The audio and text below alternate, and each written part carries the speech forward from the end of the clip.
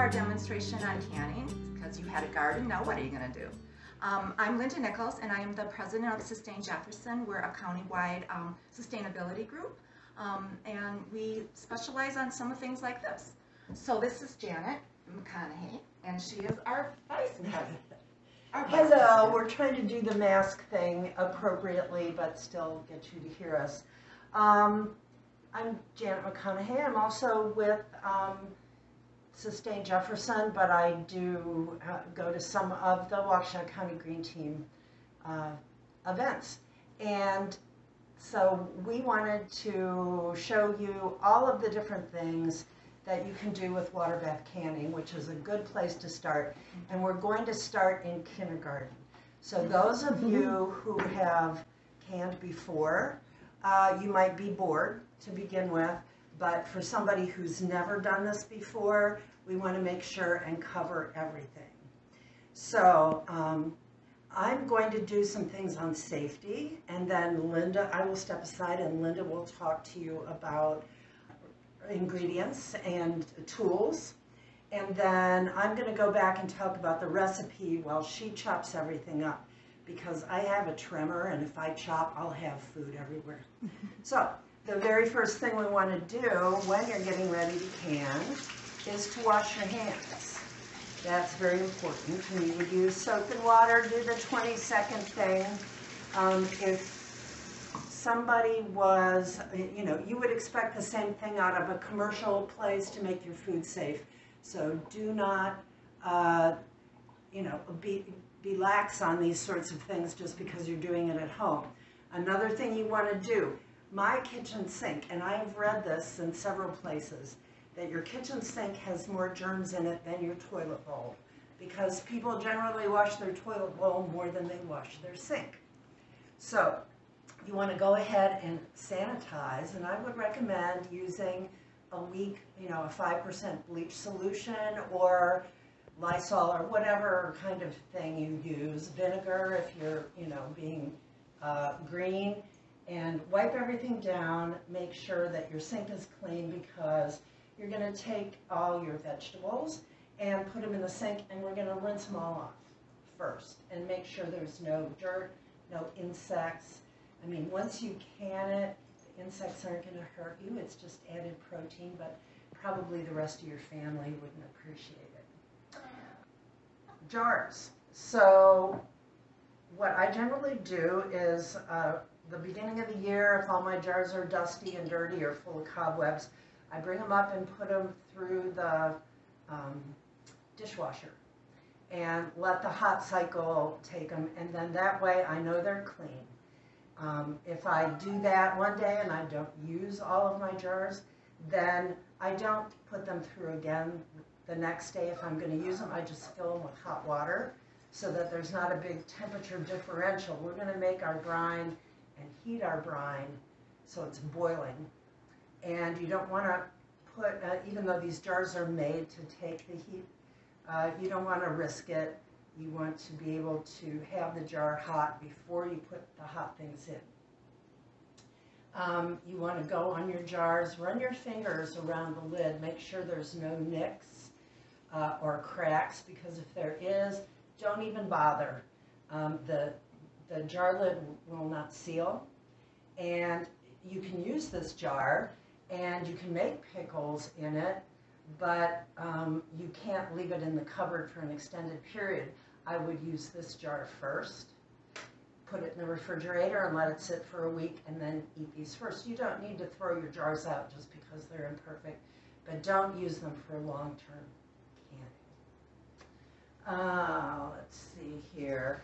You want to wear shoes. Please wear shoes. You're going to be dealing with boiling hot liquids.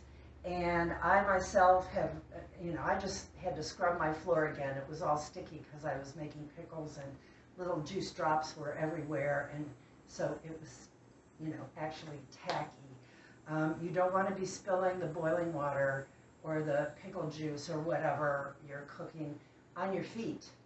And another thing to do is, if you have long hair like me, and get it out of the way because that would be another uh, turn off to eating your your nice organic home canned stuff if your family has to pick a hair out.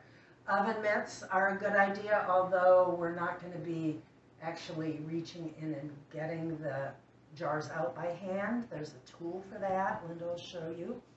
And you want to make sure, uh, safety-wise, that you have a valid recipe. So here is uh, the Ball Canning Book. Uh, Kerr, K-E-R-R, is another brand of jar, and they have their own uh, recipe book. You can get some off the internet, but make sure that it's a reliable source because you don't want to poison yourself. And if you're doing this kind of canning, pickling, um, you want to make sure that the salt and the acid are adequate to keep your food safe. All right, so I will let Linda talk about the tools.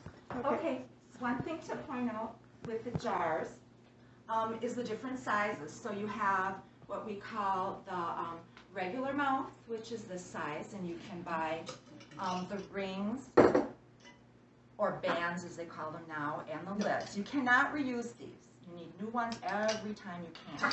Then the other size is the wider mouth. And a lot of people like these because they can easily clean them. So when you're going to purchase new lids or bands, make sure you match um, the correct, so you have the correct size.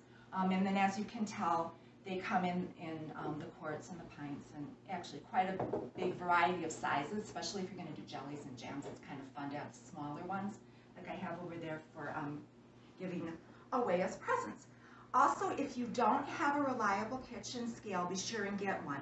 Some of the recipes are going to um, ask for pounds of, and so you want to make sure that you can measure your produce um, accurately. Being accurate is really important in canning, especially with jams and jellies. Um, one of the things that uh, both Janet and I use, and we show you two different kinds, are the ways to get the jars out of um, the water. And this just is a nice little grip, like this. And what I usually do is I have a hot pad right underneath and do this and then carry it over to wherever I need to go with it. Very, very handy. Um, also in, in regards to measuring, if you're measuring a liquid, make sure you're using measurement that's for liquid. Again, we want to be as precise as we can. And then when it's time to fill our jars, um, it's always nice to have something like this because you want to make sure that you're keeping this area clean. You want to be able to put on clean bands and a clean lid. And there's they come in a couple of different sizes, but I would suggest getting this. It will save you a lot of cleanup time. And then one other thing that I love to use, because I do heat up my bands and lids. Not everyone does that, but I do like to have mine heated. And then you can just lift them out of the, the hot water like this. Don't ever boil them, but just I like to have mine a little bit warm when I put them on. And then if you're using a recipe where you have to um, watch out for bubbles, a lot of times with jelly you do, um, you can kind of use this as your stir. Um, handy little thing to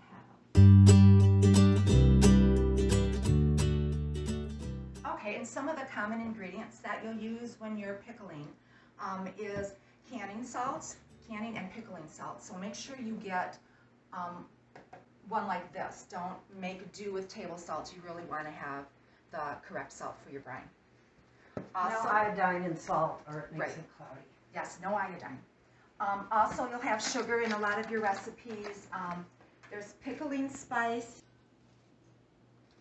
A lot of recipes will call specifically for pickling spice.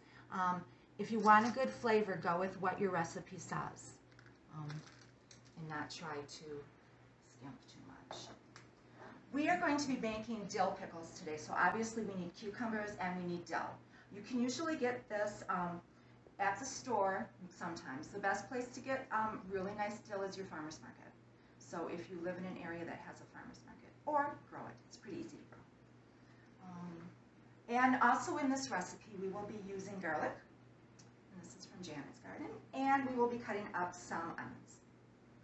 And that's in this recipe. And here's some of the lids that you can purchase to make sure you always have fresh lids.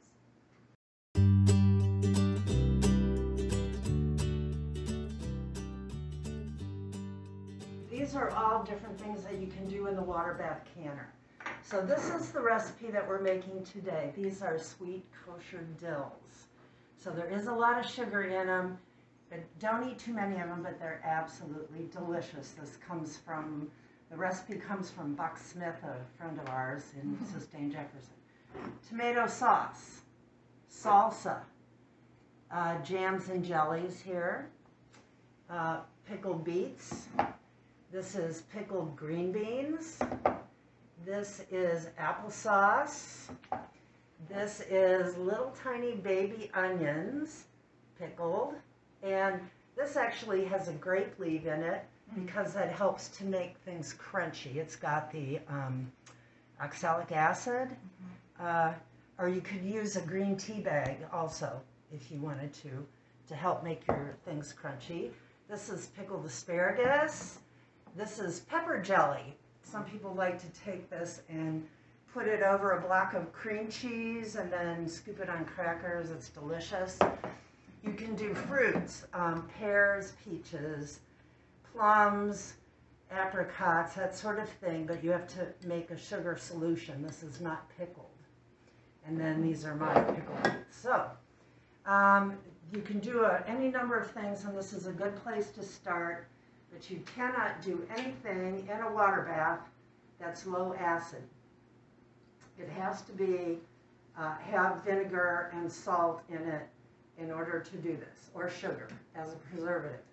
Anything that's low acid, like just plain green beans, not pickled green beans, um, uh, potatoes, carrots, all these things you can can, um, beets without the pickling, but they have to be done in the pressure canner because they're low acid, and if you don't do it right, you could injure yourself.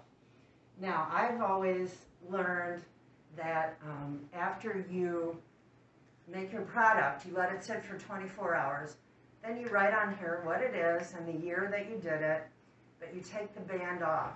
Because if something goes wrong and say you didn't uh, put this in long enough and you're, there's some dirt or bacteria, whatnot, yeast in here and it starts fermenting, you want the gas to be able to escape, to blow the lid off and not explode the jar.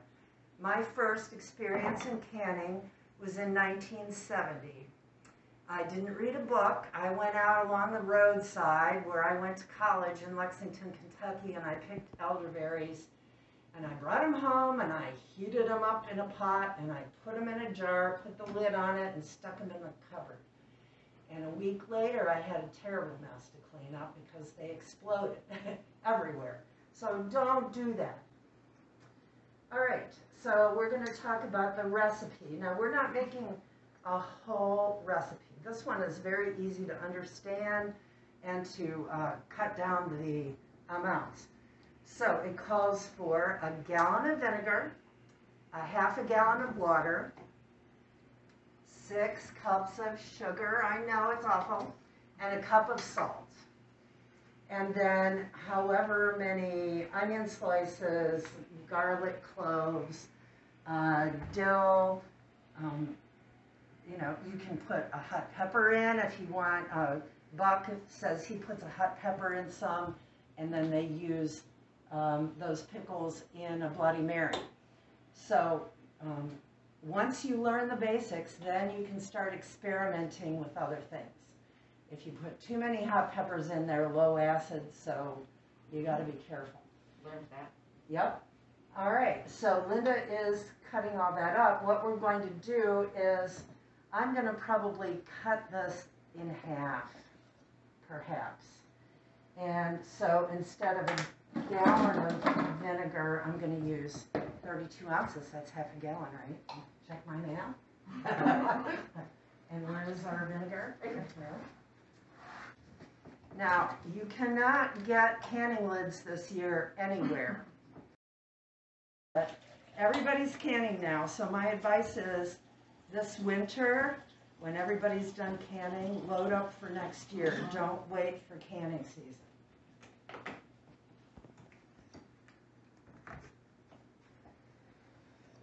Shannon, Yes. Now, this is a new recipe for me. I've never made these. Janet, what kind of um, cucumbers should we use? What varieties for this recipe would be the best? what Um, should people look for? You know, I guess a pickling cucumber. They're usually listed in the catalogs as eaters, picklers, um, English, hothouse. There'll be different varieties. Um, we are just using today whatever we could scrounge up because we're all with the drought and the heat and the cucumber bugs. We've all had trouble coming up with uh, what we need. So this back one is on now. Mistake in my math, we're just doing a quarter of a recipe, so it was 32 ounces of vinegar, 16 ounces of water, then it'll be a cup and a half of sugar and a quarter cup of salt. That will be a quarter of everything. Double check that.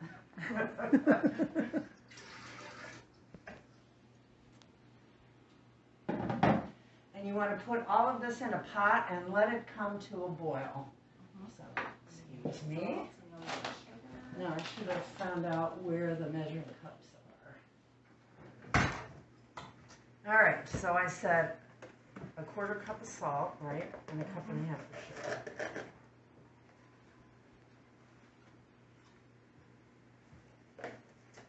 And So- again, you, you could probably use kosher salt, but it won't taste the same because it's not as salty. But you definitely can't use anything with iodine in it.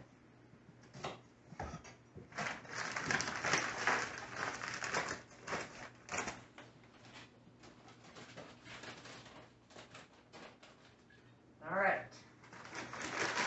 So that should take care of our brine.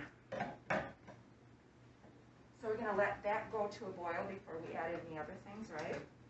We're gonna let that come to a boil, and what we're gonna do is, uh, wash our jars out real well, and then we're gonna stuff them with all this. And then we will, um, put the, fill them with brine, once all the pickles and stuff are in, or Okay. the cucumbers are in. Now we've got our hot water bath here, which this is hot, but you see the steam coming off. We started that boiling. You have to have enough water in it that it will come up and cover the jars in order to force the air out. Or do you have to have a rack inside? Yes. Oh, that's something we should have said, yeah. 'Cause you don't want those, yeah. If they're sitting right down on the bottom, the heat's too much. The water needs to be able to circulate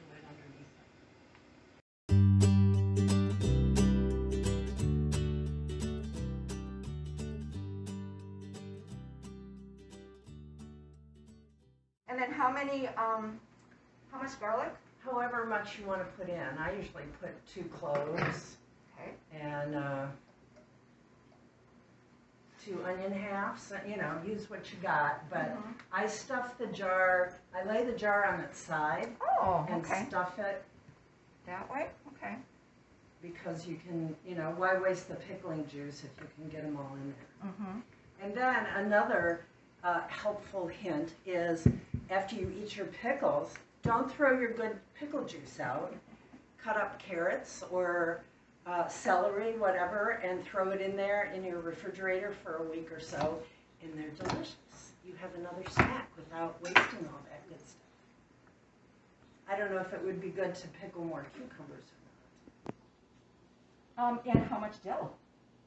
not. Um, well, use what you've got. I mean, I put maybe two thinking we're gonna have three jars, so we'll just divide it up. Oh, I love the smell of this. A lot of this you have, you know, you get a basic recipe with how much garlic, onion, or dill to put in. Um, you make it by the recipe the first time, and then you can sort of uh, adjust those flavors to suit yourself as long as you stay with the basic acidity for a Mhm. safety measure. The other day, I had some yellow cucumbers that somebody gave me. They look just like lemons. And I made uh, some pickles, but I didn't have any more dill. All my dill had gone to seed. So I went out and got tarragon and stuffed my Oh, jars yeah. with tarragon, and we'll see how that tastes. If it's terrible, all I've done is waste some vinegar or sugar, salt. All right, that one's filled. All Now, is it best to fill all of your jars first and then I- start with the brine? I do. I don't know. That's why I asked, because that's what I would do. When you're doing pickles, the, the water bath canner will hold seven quarts or eight pints. So you want to um, kind of base your recipe on that. So this is a good way. You can just slide your pickle slices right in there and jam them in real close, tight. You don't want to waste your pickling juice, and they'll be fine, right? I don't know if we'll have enough to do all four jars. Uh, I might, I've got one more left and we'll see if I, so this one's okay. This one needs more. This one, oh, definitely needs more. Yep, This if one? you lay them on your That's side, okay. wiggle them. There we go.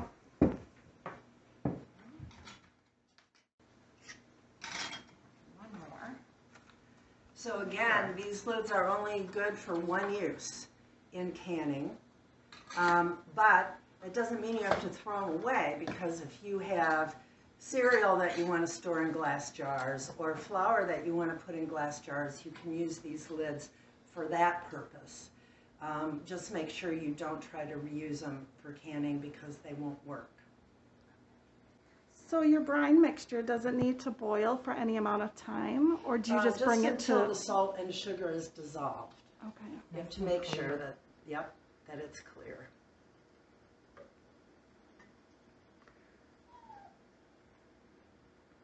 And how far do you fill your jars? Um, you want to leave uh, some headspace. So uh, they say half an inch, you know, headspace. You don't need to measure it. Don't worry about it. Just make sure you you don't want anything sticking up that's going to inhibit the seal. So stop right there. Yep, right about there is good. And then quickly put on your lid. And when you screw your lid on, you don't want to screw it down as hard as you can. You want it to be firm Oh, but lid, not yeah. cranked. Right. And then you can put that right in the water bath. Okay. and uh, go on to the next one so that it doesn't cool off. What we're aiming for is for the heat to release any air bubbles that are in there and to expand the juice so that we force the air out. And then when you take your jars out of this uh, canner and you set them on a heat-proof surface, like this wooden board would be good, or, you know, a cutting board, uh, a wooden table, a folded dishcloth, anything that's heat resistant and not too cold. You wouldn't want to set it down on something really cold because they're boiling hot. Um, Can you check your, excuse me? Yep. You want to check to make sure, I've got that at an angle. it'll straighten up when it gets more in there. Gotcha. It'll be fine. Um, so when you set your jars out and they start to cool down, it's going to pop that jar lid, uh, make it concave. And so we're going to film that when we take the jars out and hopefully you'll be able to hear the pops. Because if you do not hear that pop, your jar didn't seal and you better put it in the refrigerator mm-hmm. and use it soon.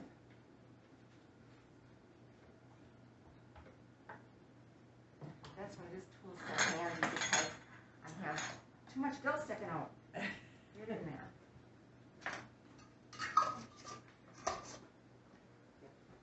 And um, when you're cranking your lids down, it's not a bad idea to take a dish rag and just, after you put Oh, your liquid in, go around and make sure that your rim is clean and dry. Yeah.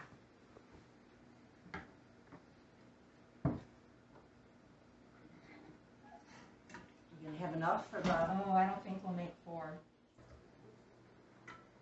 No, we're right at three. Alrighty, we need to cover these with some more water, and then we can start timing. all right, so that's what we want, is just to have all the lids covered. We want it to come back up to a boil, and then we'll time it.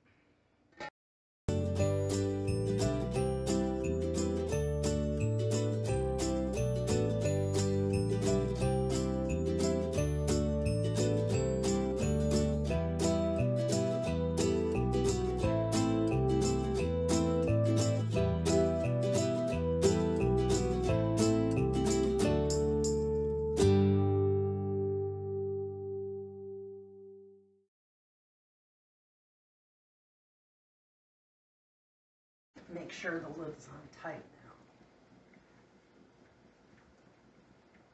Don't do this at home. Yeah, make sure you have, got your, I'll let you do that then. There's another one in the drawer.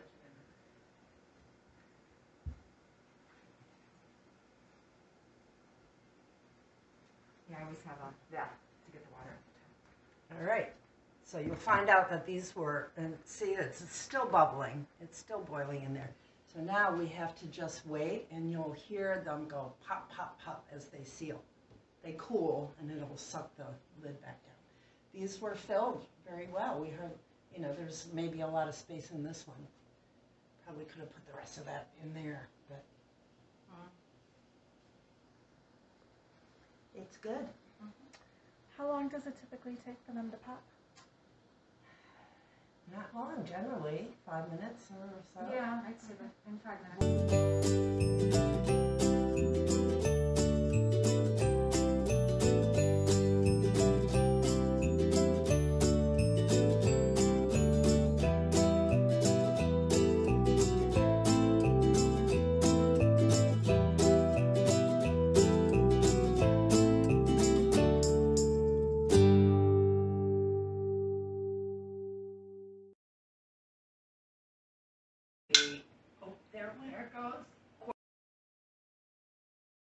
Have been out of the water and cooling for about 15 minutes.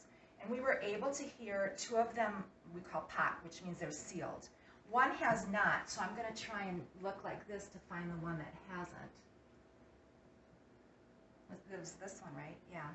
Um, so this means that it has not sealed, and we can't trust that we can leave this out. We have to refrigerate it now, so it'll still taste great, and you still got some good pickles, but you can't save this one. That's got to go in the fridge. And then these two you can save in your cupboard or wherever you'd like to keep your canned Why don't you tap on them and show Oh, the sure. different noise and Okay. how the thing in the center goes down. Yeah, there's a little like dome here that will go down. These are still warm. There. Hear that one? It's still up. So that's how you can tell. I also like to tell by looking because I don't want to encourage it falsely. okay, so that's it with the canning of pickles. Let them sit for at least a week, at least, to pickle, to soak Right, up all yeah. the flavors. Yeah. Yeah, before you eat those. And they will be good for more than a year, right? How long do you guys keep yours? So however, when I eat them, Okay. if And they then- taste good, they're fine. Yeah. And then um, I have sometimes for when I do jellies and things because they look so much alike. You can buy these labels, which will come right off when you wash um, your jars, or you can just take a magic marker and, and put the year on it. Always put the year on so that you can remember that these were canned in 2020, and um, just a good way to make sure that your food is is safe to eat Right. and that it's okay. Yeah. Um, and I think that's it. Um, and so now we'll be ready to take questions.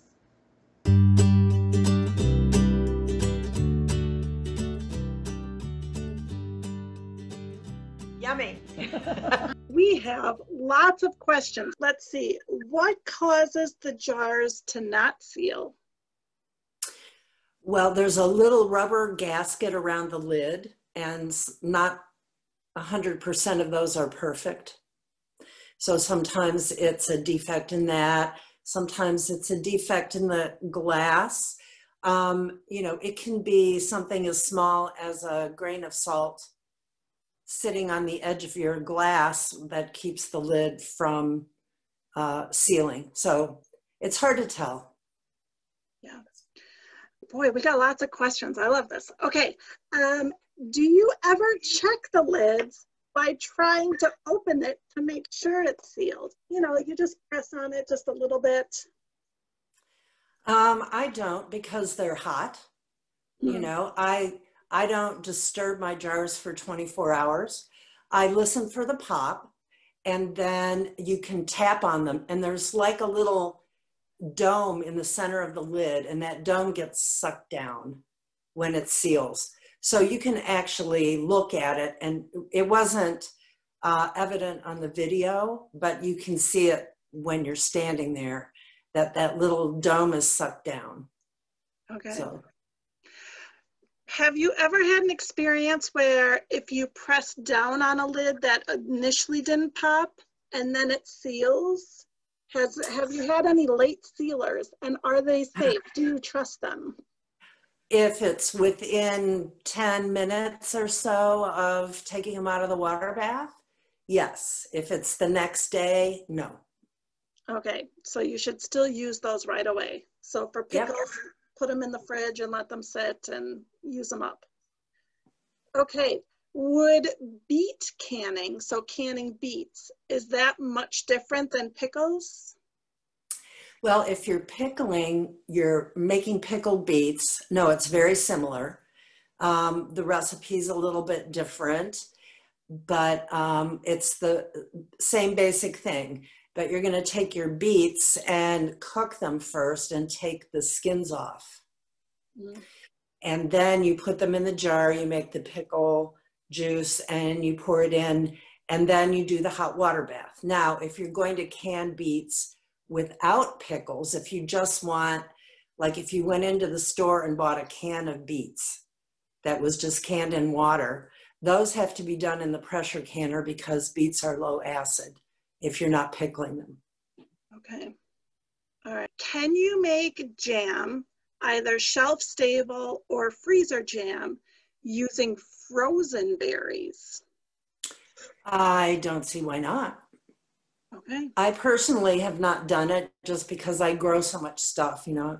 I have it in the backyard, but like today, I was out picking wild grapes. I found this plethora of wild grapes growing along the bypass. And so I went out there and got half a five gallon bucket. So that's tomorrow is making uh, jam or jelly. Okay. That's that's exciting. Oh, there's a pickle. So April, I'm curious about April's comment. She said, my husband just finished taking his last load of pickles to the pickle station. So I don't know what a pickle station is, but I'm very curious about that. So she we harvest we harvest our pickles, we grow them, and then um, he obviously watches them and gets them. And then there's these little truck or these little machines that come in and harvest them. We don't do hand picking and on our farm, anyways. It's these machines that come in. And then they dump them in semi trucks, and then he hauls them over to what we call the pickle station.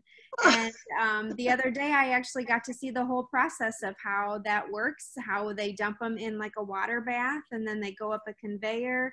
And then, based on their size, they get put into, they drop down into different, um, like little containers, and then they go into these cardboard boxes. And there's these um, cooler trucks, like big semi trucks, that are waiting while they're getting all these pickles in, and then off they go to our pickles go to Mount Olive, which I believe is down in like North Carolina, maybe somewhere down there they go.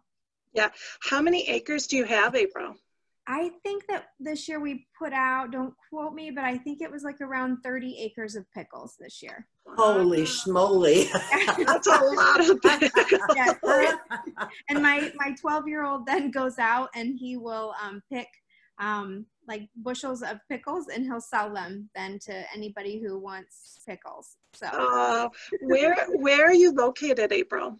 we are in um, ohio and Okay. we are um, by the great lakes we're about uh, 45 minutes south of uh, toledo ohio Okay, that's so much fun. Well, good. Thank you for sharing that with us. That is so much fun. So you're here in this Canning 101 class. Does that mean you don't make your own pickles? you don't them? and you know i've canned them like that before and then my husband got this thing last year that he actually just took five gallon buckets that he bought from Rural King and made up his own pickle juice and cut up his pickles or actually he just did whole pickles put them in these five gallon buckets put his brine over it and then sealed them and then just put them in the fridge and then the kids have been eating them like Oh, like this whole I don't know, they probably lasted for about seven months or so, you know, and everybody Wow. I thought it was weird that he could just put them in the five gallon bucket. Like he did it as a test and to see, uh-huh. and they were still crunchy and good after that time. So they were just basic. basic mm. ones, That- bought the packs, you know, like the basic pack that you buy Sure. from store and use those. Yeah. Oh, that's super fascinating. All right. Thank you so much, April. You're welcome. So, all right. Okay. People want to know Does the glass not break with boiling water? Um, well, that's a good reason to use canning jars and not reuse commercial jars that you got things in because the commercial jars are more apt to break in the canner. the canning, the jars that are made for home canning are heavier and they would break if there was a drastic temperature difference. Um, that's why we ask people to put hot water in and uh, in the jars and let them warm up so that you're not pouring bo- boiling brine into a cold jar. And that was, I'm not sure that it made it into the video. You had explained to me that the rack on the bottom of that pot was to keep them also from breaking, that if you just put them in there straight in the pot, that the, the jars would break, correct?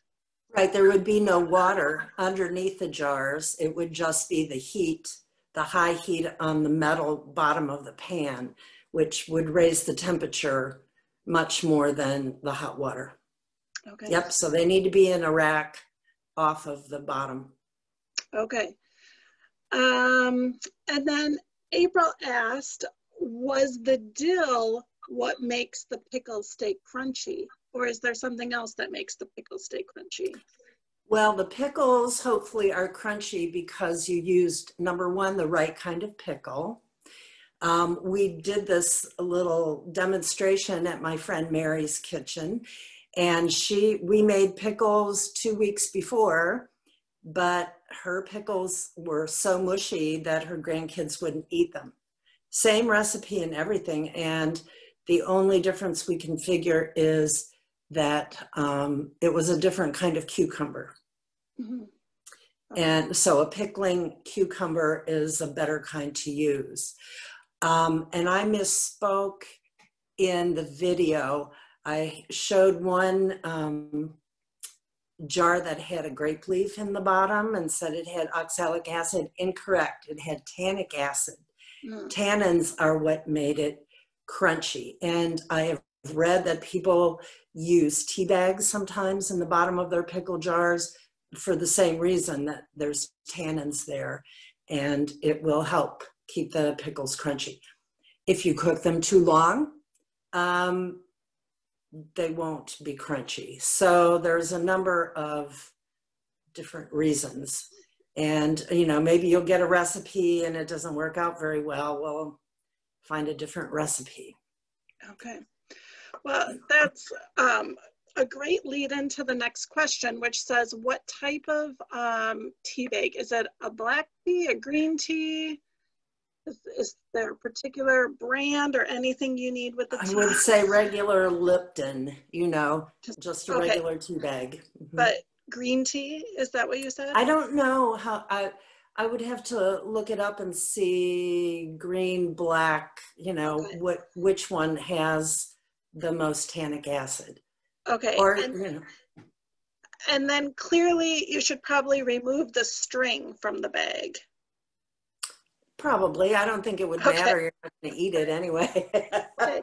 And then um, Mary Beth would like to know where do you find grape leaves? um, in my backyard. Oh. um, I don't know. I haven't lived in a city for, you know, 40 years. So if I were in town, I'm sure there's got to be people around who have grape arbors or um, I think that some ethnic stores sell grape leaves, but they're already canned. I don't know if there's frozen ones. Um, like I said, I, I found I can go out here and, and pick a thousand pounds of grape leaves probably just by wandering the woods. So sure. But, yeah. They, they do make canned grape leaves. They do can them. So, Okay. Good. Good. And um, Kathy posted in the chat that she's read that oak leaves can be used um, in place of grape if not available. Um, have you ever heard of that, Janet? Um, I haven't, but I would not be adverse to giving it a try. Okay.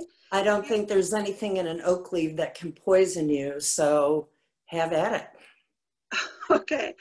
And then, um, oh, oh, yeah, good. So if anybody needs grape leaves, just contact Connie because she's the supplier, she says. Okay. And then. or um, me, I've got lots too. Yes. And then, um, does it matter if you have softened water? So if your water is going through a water softener, would that make a difference? Uh, that's a very good question, and I would think that it might. I when I I have everybody about around here is on on well water, and I have a softener. So I buy my drinking water and my cooking water in the five gallon jugs. You know, at, at the store, I fill them at the kiosk and and bring them home. So I'm using uh, reverse osmosis water from the grocery store. Mm. Okay. All right, well, that, you know, might be something for people to look into if they're having pickle problems, I guess, is checking out their water source. That could be. I did notice in the recipe, it says non-chlorinated water. So, uh, Right. Well, if you're going to use city water and there's chlorine in it, you can just run your water into a big pot and let it sit on the counter overnight, and whatever chlorine is in it will evaporate. okay, all right. And then um, Mary Beth said in here that she uses her brine for at least four to six times more and for her pickles and her beets. And um, she just puts her pickles in and in the brine and puts them in the refrigerator with and reuses that over and over again and it's great. She also said that she has very um, she had bad luck with a recipe that called for soaking your cucumbers in salty ice water. So some recipes call for that, she said, and it makes her pickles very soft. So, Huh. Well, that's supposed to draw some of the water out. yeah. Um, and it does, you know, if you're doing sauerkraut, you mix water with cabbage and then all of a sudden you got all this juice. So it does take the water out of the vegetables, but um, it might be dependent on the recipe also. Okay. Are um, whole pickles done the same way as sliced pickles? Yes. Okay. All right. And then um, are tomatoes acidic enough to just um, water, just to bath them and not pressure cook? Uh, tomatoes have traditionally been done in the water bath, and some of today's hybrid tomatoes may not be acid enough. So, uh, to be on the safe side, you can put a spoonful of lemon juice into each quart jar, or you can grow the old um, uh, heirloom tomatoes, you know, like San Marzanos and Amish paste and that sort of thing.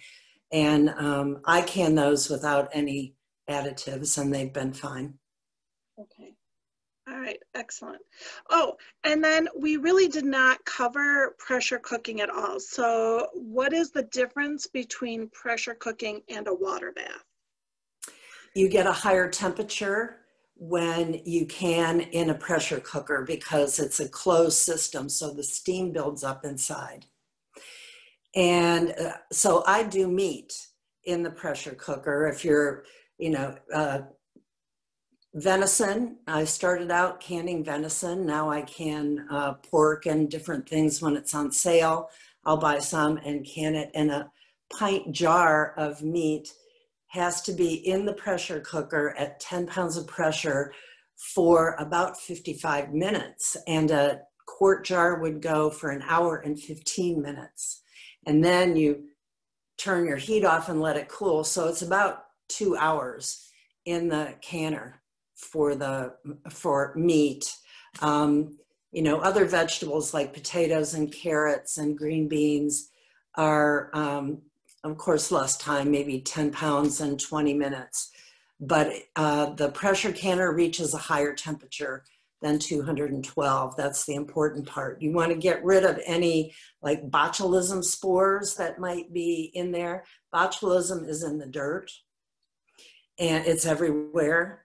And so um, it can grow in the absence of oxygen.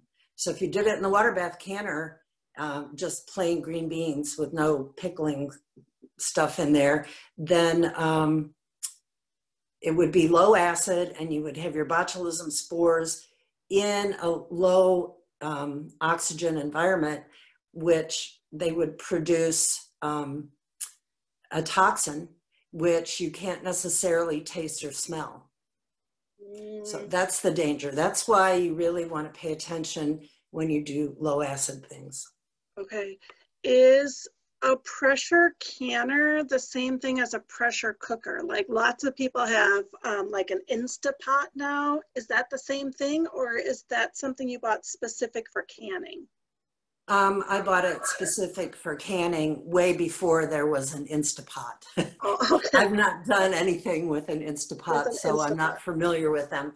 There may be books out there that show you how to do it, Okay. but a, a pressure canner is bigger. I mean, you could cook a roast in it, or you could cook beans in it in a short period of time, like you would in a small pressure canner, a cooker. Mhm. Um, but if you're going to put that much time into it, you'd like to get your seven quart quart jars in there. Sure. Okay. All right. Whew, I think that was all the questions. You did excellent job, Janet. so, Well, thank you. And I know Mary's out there. And I, again, Mary, I want to thank you for letting us use your kitchen since uh, Linda and I are out kind of in the boonies and we don't have internet in our kitchen. So we couldn't do it at home. Thank you, Mary. You're welcome. yes, thank you, thank you. And we did just get a response from um, Jesse that said that uh, Jesse teaches Instapot classes and mm-hmm. a jar can fit. Sometimes just one jar at a time, but a jar can fit in it. So that's great to know. And now I want to take an Instapot class. So that's Yes. Yes. All right, there's your next topic. Yeah, really. So speaking of next topics, thank you guys all so much. This is part of a video series that's called our One Simple Act virtual series because these simple acts add up to make a big difference to the environment. So next week, we're talking about solar energy and how do you evaluate if your home is good for solar? Uh, we have another class this month on growing garlic and um, there's another one that's i'm going to put them all in the email to you so because it's escaping my brain so it has the dates and all of that so thank you all so very much for joining us this evening Thank you, guys. Good night, Sage and I Good say job. good night. Bye, Sage.